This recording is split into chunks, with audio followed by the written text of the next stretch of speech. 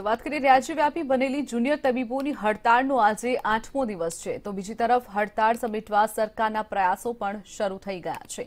બીજે મેડિકલના ડીન અને સિવિલ સુપ્રિન્ટેન્ડન્ટ તબીબોને તેની માંગ પૂરી કરવાની બાંહેધરી આપી હોવાનું તબીબો કહી રહ્યા છે. તો સરકારના હકારાત્મક વલણને જોઈ અને આજથી કોવિડ અને ઇમરજન્સી સેવાઓની ફરજ પર તબીબો હાજર થયા છે. મહત્વનું છે કે મેડિકલ, ઓપીડી અને અન્ય સેવાઓથી તબીબો અળગા રહ્યા છે.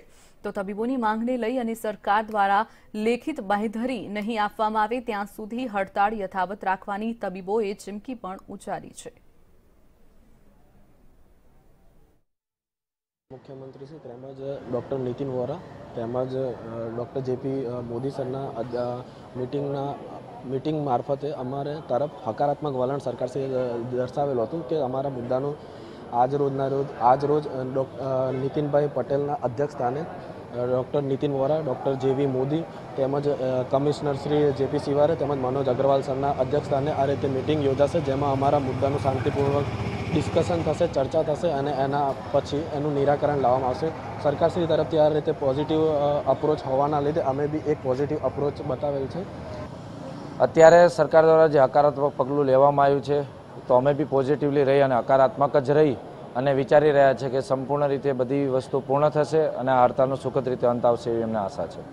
બોન્ડની શરતોને લઈને ફેરફારની માંગ સાથે ઉતરેલા તબીબોનો હડતાલનો આજે આઠમો દિવસ છે. ત્યારે ગઈકાલે જ જે સિવિલ હોસ્પિટલના સુપ્રિન્ટેન્ડન્ટ છે, નાયબ મુખ્યમંત્રી છે અને આરોગ્ય વિભાગના જે સત્તાધીશો છે તેમની અને જે તબીબો છે કે જે હડતાલ ઉપર ઉતર્યા છે, તેમની, તેમના વચ્ચે જે બેઠક છે તે બેઠક મળી હતી અને સરકાર દ્વારા ક્યાંક ને ક્યાંક જે તબીબો છે તેમને આશ્વાસન આપવામાં આવ્યું હતું કે તેમની જે માંગ છે તે પૂરી કરવામાં આવશે, જેને લઈને આજથી જ તબીબો દ્વારા હડતાલ તો યથાવત જ રાખવામાં આવશે, પરંતુ જે ઇમરજન્સી સેવાઓ છે અને કોવિડ ડ્યુટી છે તે હડતાલ ઉપર ઉતરેલા તબીબો દ્વારા કરવામાં આવશે. ત્યારે છેલ્લા સાત દિવસથી કહી શકાય કે તમામ પ્રકારની જે મેડિકલ સેવાઓ છે તે ડૉક્ટર તબીબો દ્વારા બંધ રાખવામાં આવી હતી, પરંતુ ક્યાંક ને ક્યાંક સરકાર દ્વારા જે રીતે તેમને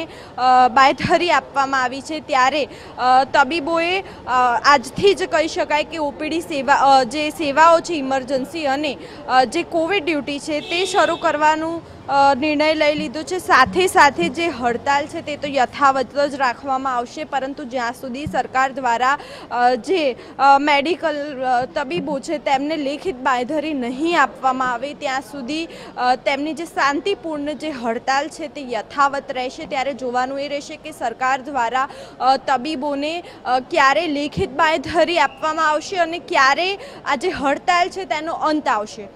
કેમેરામેન નીતિન બગડા સાથે માનસી પટેલ મંતવ્ય ન્યૂઝ અમદાવાદ.